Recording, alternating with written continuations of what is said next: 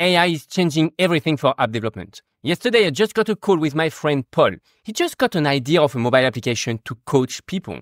And I said, okay, great. You know what? Let's build your application before tomorrow because I need to publish a YouTube video and I would love to document that process. And let me confess, before to commit to build that application for him, I never coded a mobile application by myself. Never, ever.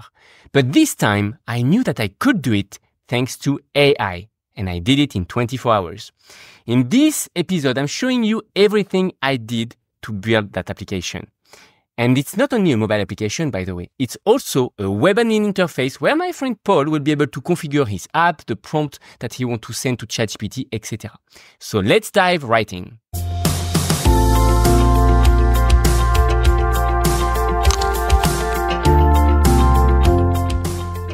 Hi, I'm Amaury, founder and CEO at MyCTO where founders come to learn how to build their tech startup. And with this Startup Snack series available on both podcast and YouTube, we want to share the essential to make it easier for you to build your tech startup. So my friend Paul is a sales coach for startup and scale up, quite known in his industry. And yesterday he was wondering, okay, Every time I do a coaching call, I usually go through the same type of questions.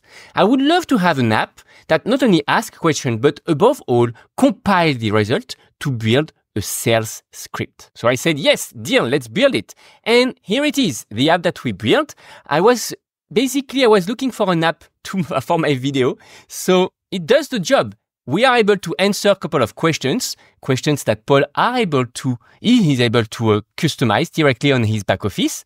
And once we fill in all the questions, basically, we will have the script. Yeah, two more questions and you're going to see the result and boom, here is the application. It's of course requesting OpenAI and it generates the script. Here it is.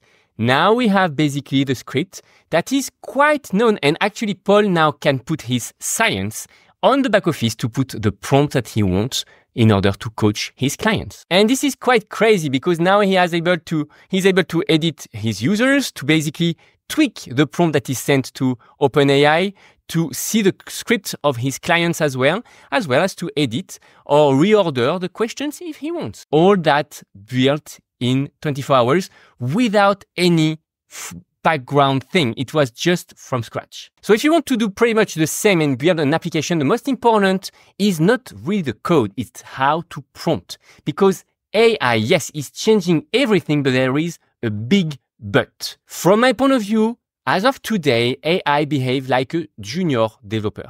Very resourceful, he can learn tons of things. If you ask him anything, you will at some point manage to do it. But sometimes he's really losing himself and it can become a nightmare to handle code generated by a junior. And that's what I want you to avoid by watching this video. So let's go through the process and I will also share my tips in order to avoid difficulties while building an application with AI. So first, to get started, I just dropped the idea. I was basically crafting the idea. So it was my specifications. If I move a bit faster, I basically created these specifications and after I asked ChatGPT to summarize it. Then I went to a tool, Curious, which is called Uizard, basically without, to generate AI. I wanted to try this type of tools for a while.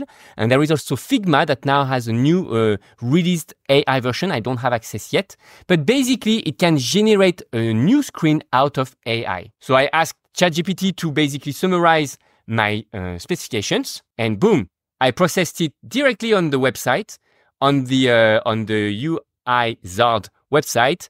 I selected basically the style. I dropped my color and boom, it was generating the design of my application in like just 10 seconds or so. So very interesting. Basically, that's the screens that I used.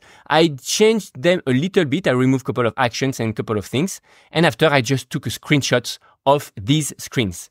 That's it. That's basically the application that I built. And I was now ready to transform these basic screenshots into a real app. So what I did next is to reuse the foundation app that I built on my last video using prompt basically to generate the ground, the, the uh, basic mobile application, an empty application. It's easy to find. It's called AI Prompt to generate a real mobile application on Windsurf. I will put the link to that video in the comment and I will also put the link of the downloaded, downloaded foundation code so that if you want to redo eh, basically what I did in this video and build your own application, you can use this foundation source code. And here is how it works. You basically get the source code, you open the directory in Windsurf, you just get that directory like this, and that's it. Once we are on Windsurf, I need to install the requirement. So in order to install something, we will need what is called the terminal, and we will need also the AI prompt. I get on the README, which is the documentation, and I have here the command line that I need to copy and paste.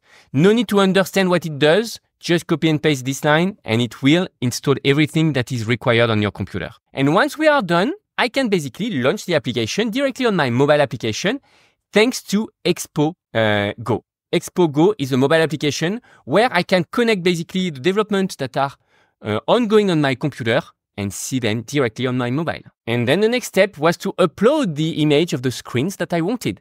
So basically I took these screens, I went, so I went directly on the right on Cascade to put basically uh, that I wanted to develop a new screen. And then I uploaded my screen. So very important, as you can see, without changing the, changing the structure of our monorepo and mobile application, can you change the welcome screen of the app to display this login screen. This is something very important because often ChatGPT, Claude, or whatever is behind Windsurf will try to reinvent the wheel or to change everything while we only need to modify one small thing. So very important to remind that very often. And that's it. If I don't want to test the application on my mobile, I can use the emulator, the simulator that is provided basically on Mac. On Mac.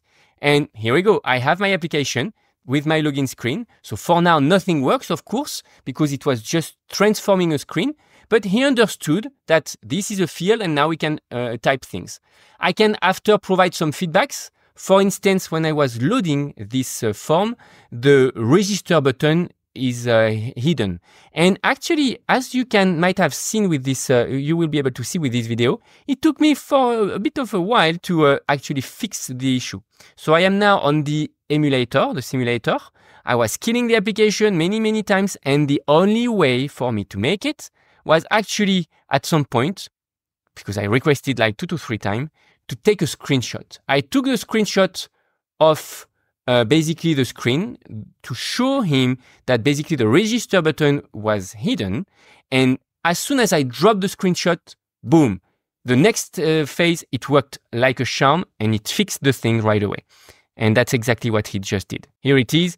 At least we can see the register button, but it's a very old iPhone simulator. We are on a, a SE, so basically very small one. So it looks okay to me. And of course, you can guess I did exactly the same for the other screen, describing in the prompt what I wanted to do, and basically telling them, okay, when someone click on the button on this screen, redirect to that screen. So I would love to tell you that everything went very, very, very, very smooth from the beginning to the end of this development.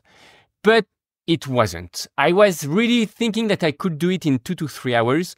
It turns out to become more five or six, maybe even seven. I don't even know. I did not really count. And here are basically all the issues and difficulties that I got. First, one more time, never ever create a prompt that imply a lot of tasks. Because very often, because it's kind of a junior developer, he will try things or maybe he will think that he can improve something else. No, just focus on what I asked. That's it. Second point, Pay attention to lazy decisions to avoid bugs. bugs. Sometimes when we face bugs, we basically copy and paste the bugs that we have on the terminal and we drop it uh, asking just fix that stuff, please. Sometimes he will just go and say, okay, if in version 2 it doesn't work, I might take the Firebase function in version 1, etc. And all of a sudden you, you break everything you are breaking absolutely everything and it's a nightmare after to roll back. So be sure that he stay consistent in order, in order to keep the same framework, the same libraries and not refactor and reorganize things all over the place because after it is a nightmare and I had to roll back two to three times during that project. And actually that's another tip. When facing a big bug, don't hesitate to ask to redevelop the new version, even if it's on the side. For instance, he developed something on version 1. I said, no, you know what? Version 1 doesn't work. Rebuild it in version 2. Use the updated libraries, up everything, make something clean so that I can build other features later on. And he did it. And like in one or two uh, prompts, it was working right away. While I was, it, it was like something like 20 minutes that I was struggling with the first version. So don't hesitate to rebuild things. And on that note, it's even easier to reprompt again. Basically, if they, the, the AI generates some mistakes, it might be because your prompt was too vague or too broad. So it might be better and more beneficial to basically roll back everything that has been done during the past few prompts. And you say, okay, now I'm going to do only one tiny, tiny step in order to test and in order to move forward that everything that I ask works. And talking about good prompts, don't hesitate to remember him that we are building this application. You, I want just you to update the mobile application directory and can provide the directory if you know how to do it. And remember him to do not refactor anything, to do not change library, to do not restructure things, because that's what he tends to be very often. And few last tips, test it along the way. Don't move forward feature by feature without testing it. It's the best way to have something that you won't be able to manage and later on. So always and often test what's working. And I would even say, even if sometimes you work on the mobile or on the admin, you need to go back uh, and forth between mobile application, back office, and if you have some backend functions as well, because sometimes you change the structure of the database and it can imply and break things on all the, the applications basically. And last, when you are very, very stuck, and it happened to me when I was basically asking him to connect OpenAI. Nothing very techy, but I asked him basically it, was not working. So I, what I did is say, okay, I need to test. I need to test the API. I need to be sure that the uh, backend function that you are building works.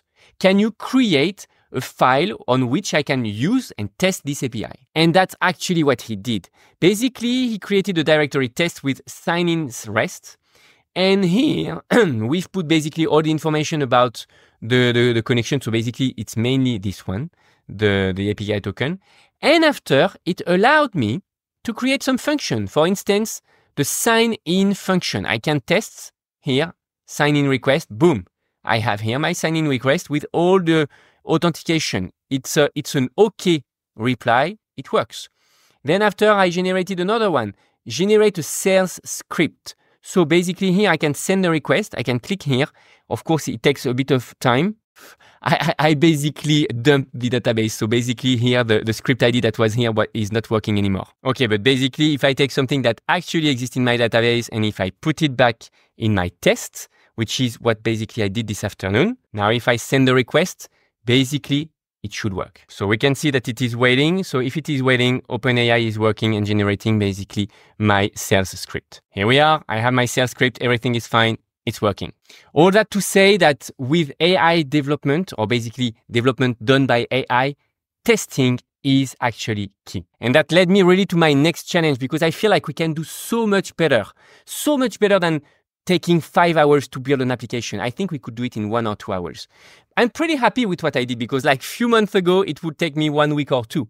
But I really feel like the next challenge of development done by AI is on automated tests. And that's actually the topic of the next, uh, one of the next video that I'm going to produce is how to actually create a function that tests along the way everything that is developed by the AI so that you can save a lot of time on development done by AI. So stay tuned, subscribe to the video if you haven't so far. And one more thing, if you have a startup project and if you want us to help you accelerate, I'm currently currently training some amazing developers that I've been working with for years. And basically, I am teaching them how to co-develop with AI in the and the co-founder or basically the project owner. So if you're interested and if you want to know more about uh, that new offer, you can just get on myctofriend.co slash contact, send us a message. It's not released yet. And we have a special offer for the, the early birds that are going to contact us. Because as far as what I can have seen so far, yes, AI can develop amazing things and it can work for non-technical founders,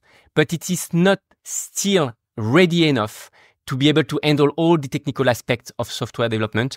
And honestly, a pure non-technical founders might really struggle to build something and to never actually ship any program. While actually he can save so much time working with someone that know how to guide him. But I will tell you more in the upcoming videos as well. Um, until then, I hope you like that video and I plan uh, to do way more like this one in the upcoming weeks as well. So share your comment, your questions in the chat, uh, in the comment sections, and I'm happy to answer your question when I can. Uh, and uh, until then, I'm looking forward to hearing from you. Bye. See you.